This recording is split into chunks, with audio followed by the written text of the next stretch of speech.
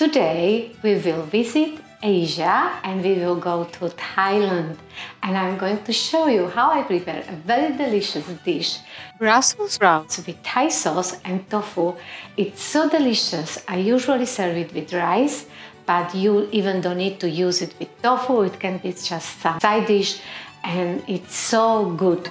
So let's have a look how I prepare it and maybe you can try it.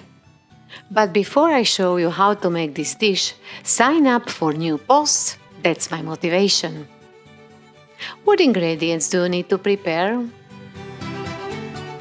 Brussels sprouts, potato starch, tofu, I like smoked tofu, shallot, cilantro stalks, fish sauce or soya sauce, chili, lemon or lime juice, ground black pepper, sugar, garlic, olive oil, and here is the full list of all ingredients. I like to use smoked tofu for this recipe. If you use unseasoned tofu, lightly salted before coating. I cut the tofu widthwise into slices approximately half to 1 cm thick but you can further cut them in half. Coat the sliced tofu in potato starch. Let's prepare ingredients for the sauce. Thai people like to use fish sauce, however, it has a very specific smell that not everyone likes. You can replace it with soya sauce. Put the sauce in a bowl, add sugar, lemon or lime juice and mix well. Add ground black pepper and continue mixing.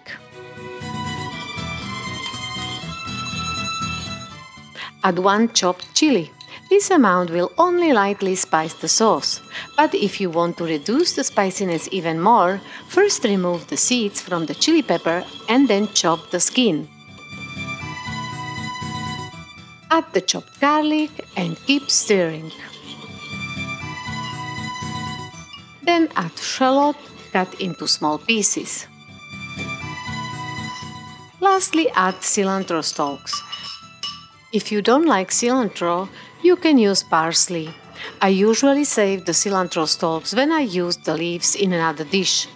And I don't throw the stalks away, I chop them into small pieces and put them in the freezer. Thai sauce is ready for cooking. Finally, prepare Brussels sprouts, cut them in half. We have everything ready, so let's start cooking.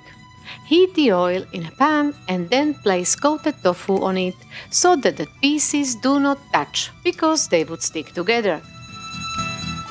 Fry tofu on each side until the coating starts getting light orange color. It took me about 6 minutes on low heat. The potato starch creates a nice crispy layer on tofu. Transfer the fried tofu from the pan to a plate.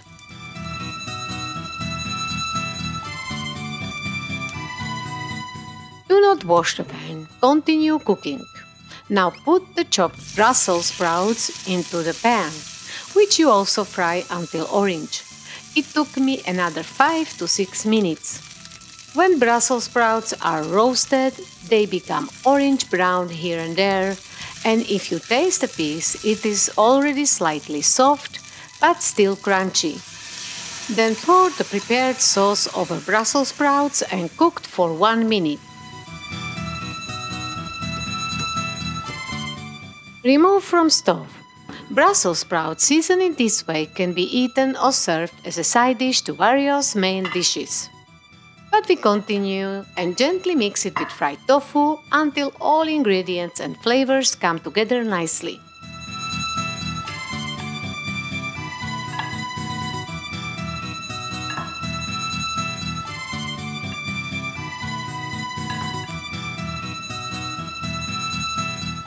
That's it, we can start eating. I prefer to eat this delicacy with rice. However, you can also try it as a filling for a wrap like a tortilla burrito. The taste is fantastic. Slightly sweet and sour, fragrant with herbs, crunchy, simply, ordinary Brussels sprouts become an extraordinary delicacy. Fried smoked tofu gives the whole meal the right crunch and unique taste. Enjoy your cooking and bon appetit! Yay! Sorry. I have stepped away for a moment and my Sarah is already feasting.